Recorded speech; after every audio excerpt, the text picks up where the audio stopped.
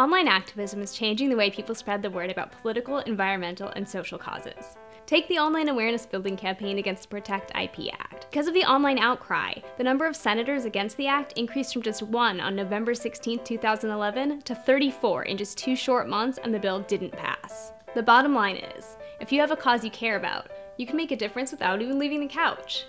Choose something you really care about, and this will help keep you motivated when you come up against dissenters and challenges. Reach out online. Find an organization that shares your beliefs and learn about what they do and what they need help with. Here are the activism roles you can do from your couch. Make fundraising phone calls.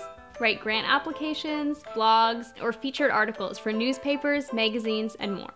Design brochures. Write code for an organization's website or internal network. Start a social media campaign. Activism can be taxing, but keep motivated and remember, you're making a difference.